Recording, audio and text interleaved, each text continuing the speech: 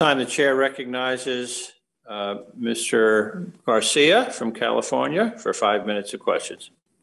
Thank you, Mr. Chairman, uh, and, and thank you, uh, Attorney General Garland, for your service to our, our beautiful nation. Uh, I was looking forward to having some uh, uh, detailed questions regarding this budget and the nuances of it, where we're going as an appropriator. That's what I'd like to spend my time. I'll, I'll put those through formal correspondence. Uh, because frankly, something you said in, in your written testimony in your opening statement really kind of disturbed me, and I want to talk about that a little bit. But I want to I want to start first by just reading uh, the mission statement that's on your, your DOJ website. It says that uh, you are to enforce the law and defend the interests of the United States according to the law, to ensure public safety against threats, foreign and domestic, to provide federal leadership in preventing and controlling crime, to seek justice for those guilty of unlawful behavior. Uh, what disturbed me in your opening statement, uh, your written uh, testimony, there's a line in here where you said that I am pleased with the progress that the department has made since I be- appeared before you last June. And I can't wrap my brain around why you would be pleased with what's gone on in the last, call it, year to uh, 18 months. Uh, in the last year, we've seen crime spikes like we've never seen before 54% increase in shoplifting, 43% uh, increase in police officers shot around this country in the line of duty, 59% increase uh, in officers killed uh, since uh, 2021. 80% of Americans report that they are concerned about the crime and violence. Homicides nationally increased by 5% in 2021 when compared to 2020 that number is uh, 44% uh, compared to 2019. Gun assaults jumped 8%. 12 cities nationwide broke annual homicide records in 2021, and car thefts rose by 14%. I don't know what is pleasing about that progress.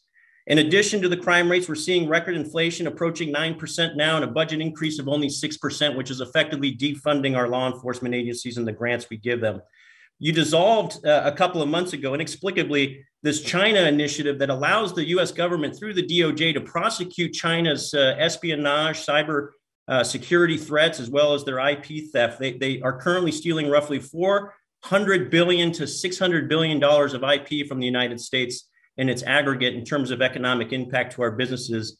Yet the DOJ dissolved the China initiative. I don't understand what's what's pleasing about that. We have an executive branch and a president who is effectively opening our southern borders, looking to revoke Title 42, has already revoked in, in principle the remain in Mexico policies that were instated in the last administration. Uh, and, and, and this is literally leading to the deaths of Americans nationwide with this national fentanyl problem and this record breaking uh, rate of deaths as a result of this fentanyl coming across our southern border. This last week, we saw Texas National Guardsman Bishop Evans killed while trying to save an illegal immigrant who was smuggling drugs into our country. I, don't know why you're pleased about this progress. Uh, I, I, I, want you to explain that if you can, but I also just don't understand. This is all inexplicable and inexcusable to me. Uh, what what is, in your opinion, if if this is good progress, what is the biggest threat to the United States right now? Uh, look, the enormous increase in violent crime, which began in 2020 before we came into office, is enormously concerning to me. And that is why, as soon as I did come into office, we developed a major strategy to fight violent crime, which focuses very heavily on our joint task forces with state and locals who are responsible at the first level for every kind of violent crime you described.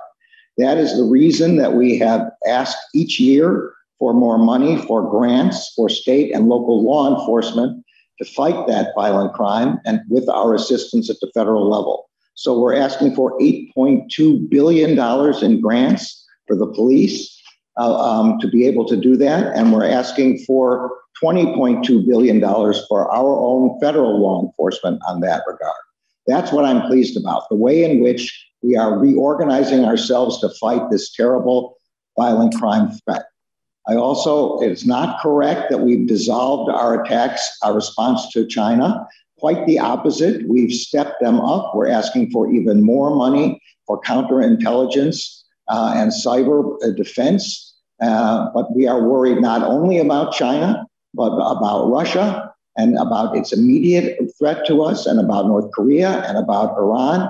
All of the things that you are concerned about, about China, I remain concerned about. Nothing in our program reflects a diminution in that. I'm out of time, Mr. Chairman. I'll yield back. Thank you, Mr. Garcia. And at this time, the chair recognizes Congressman Case of Hawaii for five minutes of questions.